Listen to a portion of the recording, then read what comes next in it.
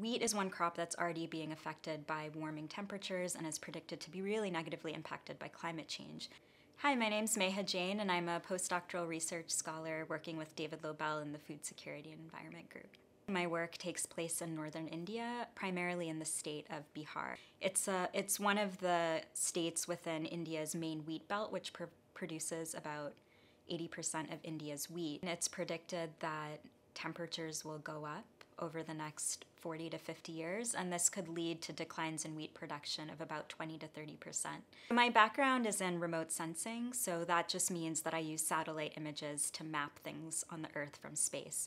And in particular, I'm interested in mapping agricultural production. There are a group of us who are using new tools in image analysis, like new, new satellites like Skybox, new platforms for analysis like Google Earth Engine, to actually map agricultural production at really large scales across the globe.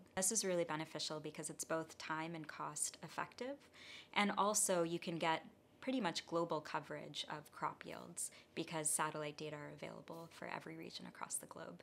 So in India, we're working with an organization called CIMMYT. It's an international wheat and maize breeding institute headquartered in Mexico, but they have a regional office in India, and they're really focused on how they can help farmers sow their wheat crop earlier, which is one of the main ways to reduce some of the negative impacts of heat stress on yields.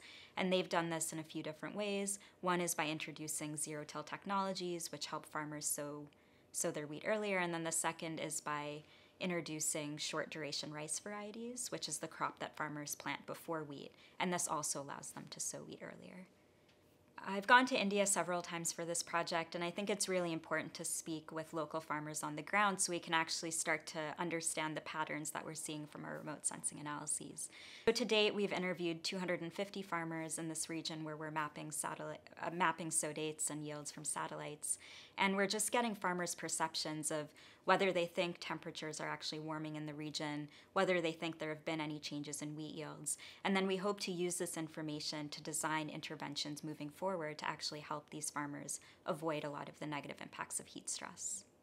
What we want to do moving forward after we have these models really well validated is actually look at sow date trends and yield trends through northern India through time and look at what are the factors that are leading to reduce wheat yield outputs and how might we think of some interventions to actually improve yield.